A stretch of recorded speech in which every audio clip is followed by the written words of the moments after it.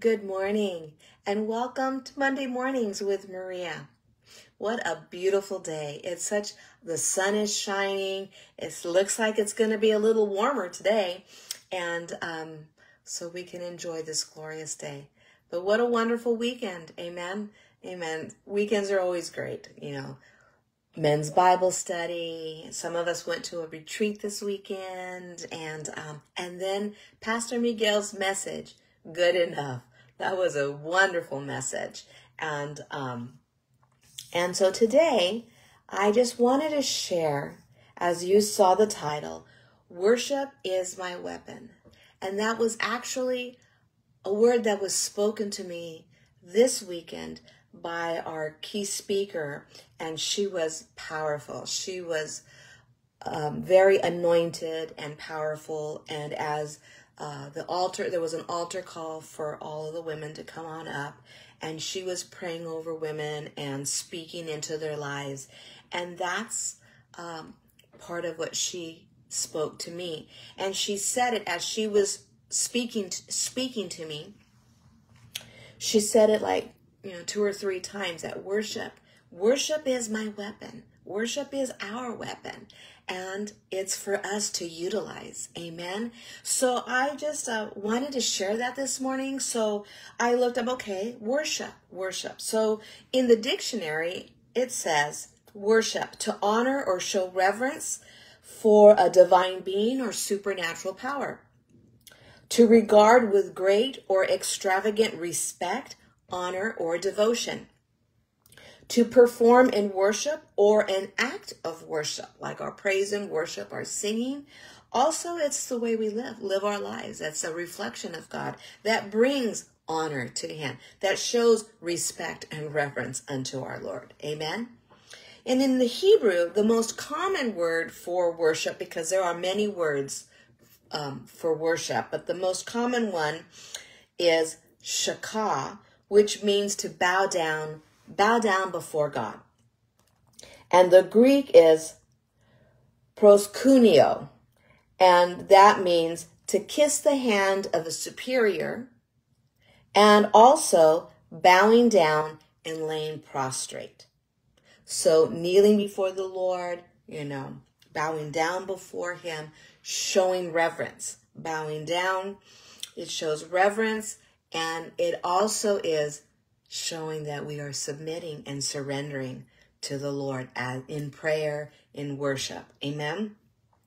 So I started looking and seeing, okay, worship is our weapon. So I have three examples for you um, that are in in God's Word, and um, and uh, the first example that I have is is a young boy, and we all know the story of David and Goliath.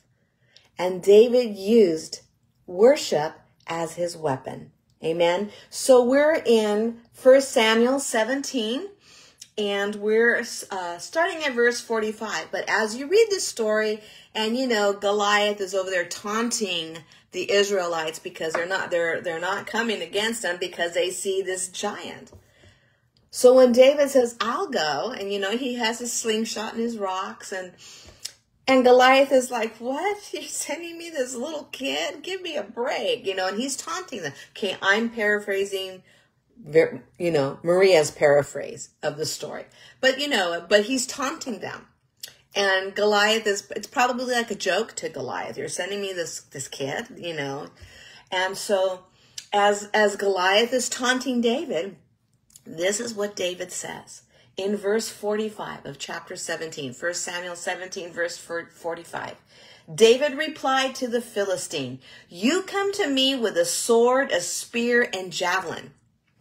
But I, I come to you in the name of the Lord, in the name of the Lord of heaven's armies, the God of the armies of Israel, whom you defiled.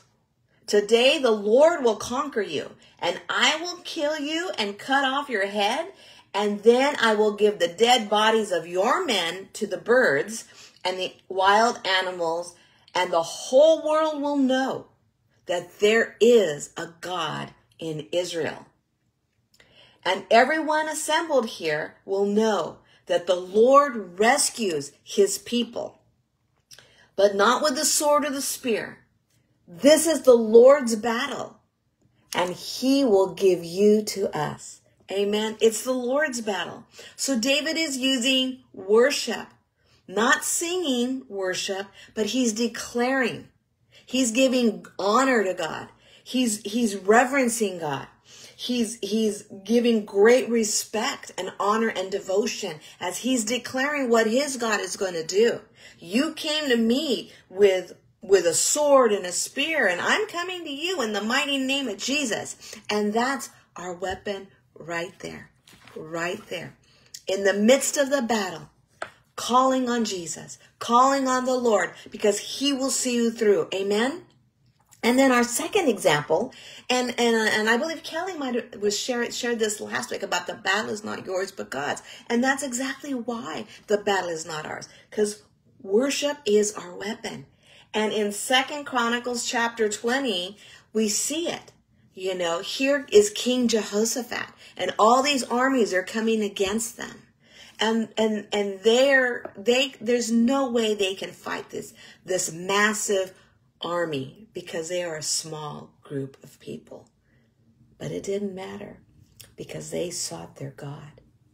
And in verse, uh, so this is Second Chronicles chapter 20, and I'm going to start at verse 21, 21 and 22. It says, After consulting the people, the king appointed singers to walk ahead of the army, singing to the Lord, praising him for his holy splendor. And that is what they sang. Give thanks to the Lord. His faithful love endures forever. And at that very moment, they began to sing and give praise the Lord caused the armies of Ammon, Ammon, Moab, and Mount Seir to start fighting among themselves. You see, they didn't have to lift a hand. It was their praise. King Jehoshaphat had their worship team go out first before the army. That's the confidence that King Jehoshaphat had in his God that God would see them through. And they didn't have to lift a finger.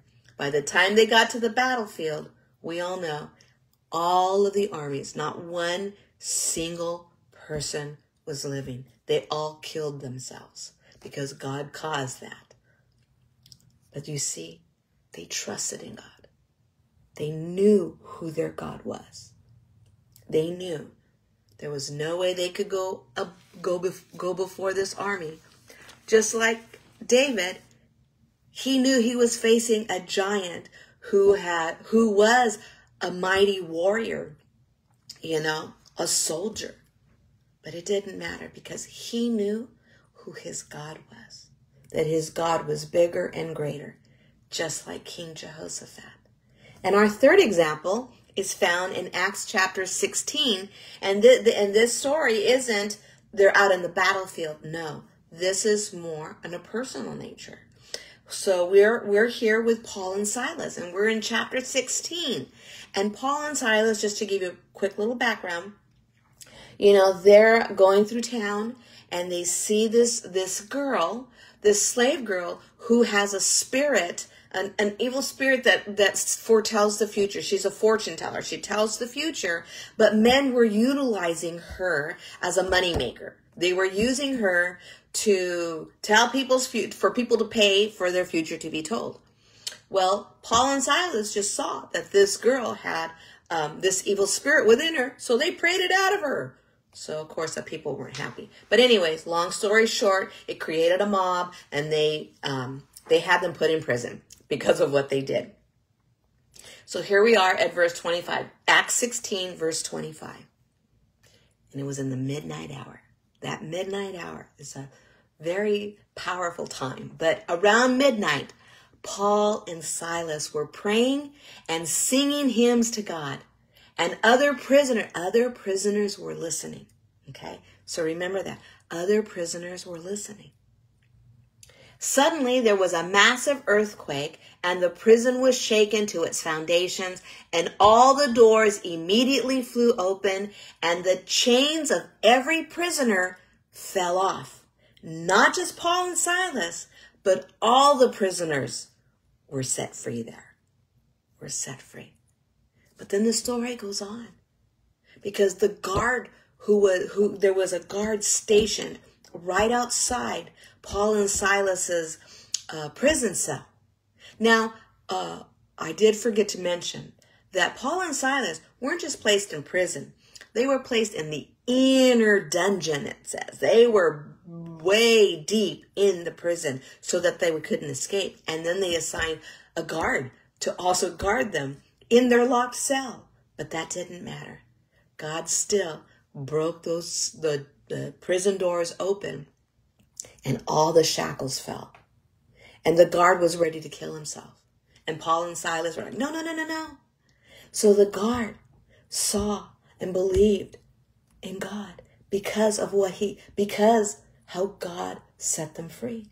And then the guard took them home and the guard was saved and his family was saved. So see, in the midst of our battle, as we're trusting God, people are watching and people are listening, just like the prisoners were listening to Paul and Silas as they praised and they worshiped God. Here were men who probably, all the men are probably, you know, horrified that they're in prison, but not Paul and Silas. They were praising and worshiping God because no matter what, their trust was in God.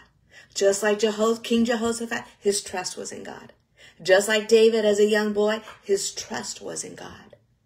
And they were worshiping him, regardless of their situation, regardless of their circumstances. They were worshiping their God because they knew who their God was. And we, as we know who our God is, he is a mighty God. He's a powerful God. He's a loving God. He's a God who saves, who heals, who delivers who opens those doors for us so that we can remember, so we can remember worship. Worship is our weapon. And always remember that God inhabits the praises of his people. So when you are in your car praising God, he's with you. When you are in your prayer closet praying and worshiping, know, know without a shadow of a doubt, God is with you. He is with you. He is with you, giving you all that authority and all that power because it's within you, because He lives and dwells within you. So, my friends, I just want to encourage you to always remember worship is our weapon. So, utilize it. Utilize it. Amen. Amen. So, let's go ahead and pray. Dear Lord, we thank you, Father God. We thank you because because of your love for us, because you are always with us, because you inhabit the praises of your people, Father God.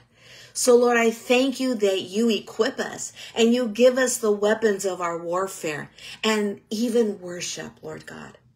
We don't have to have swords and spears.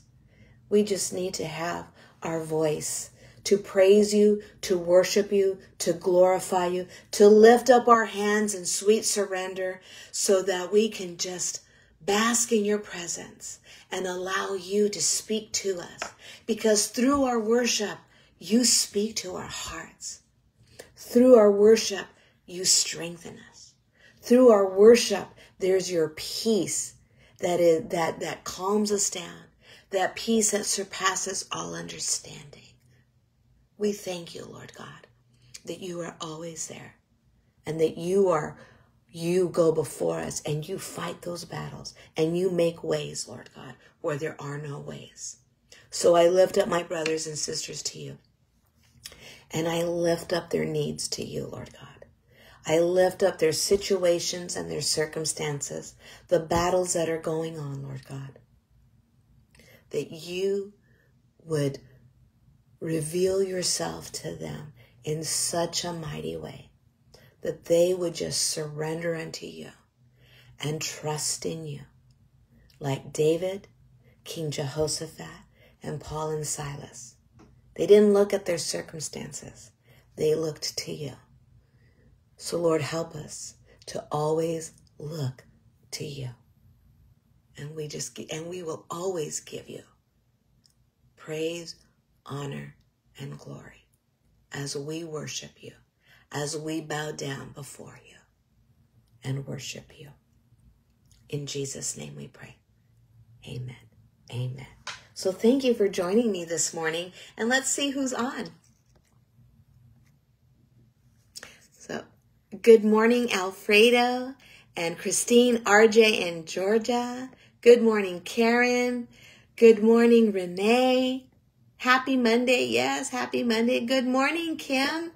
Uh, looks like you had an awesome time on that cruise. So, so I'm, I'm very happy that you had that opportunity. Amen. Amen. So good morning, Mary and Joe. And look, there's my husband. Good morning, honey. And good morning, Rose and Dee and Lori. Thank you for, for joining us. And, um, yes, God rescues us in the depths of battle and despair as we as we attune to him and worship him. Amen. Amen. Amen. Yep. That's how we fight our battles. That's right. Putting on, yes, put by putting on the garment of praise and worship. Hallelujah. Good morning, Janice. Thank you, Lord. Amen. Good morning, Brother Ron. And good morning, Vera. Good morning, Kevin. Oh, praise the Lord. Praise the Lord for the miracles that God has done in Kevin's life. Amen. The healing that he's doing and for Nancy too. Amen. Praise the Lord. We continue to keep you guys in prayer. Good morning, Chelsea. And good morning, Imelda. And I think that's about everybody, but thank you for joining me. And if I missed you, if I missed and not, and didn't call your name, forgive me, but I just pray you have an absolutely wonderful day in Jesus and, uh, and a beautiful week. So God bless you. And don't forget, weapon, worship is our weapon. Amen. God bless you.